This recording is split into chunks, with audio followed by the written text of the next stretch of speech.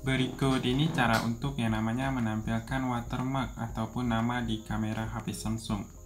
Jadi untuk itu bisa buka yang namanya kamera bawaan yang seperti ini. Setelah itu kalian lihat di sini kan ada namanya gear atau icon gear, kalian pilih dan cari tanda air yang ini. Jadi pilih aktifkan ini, kemudian kalian lihat ada nama model, yang namanya nama model itu bisa kita ubah di sini. Ini kan ada icon pensil kalian pilih, bisa juga tanggal dan waktu. Nah, kemudian fontnya bisa kita ubah ada Samsung Subsan Noto Serif. Kemudian ada juga rata, tengah, kiri, seperti itu.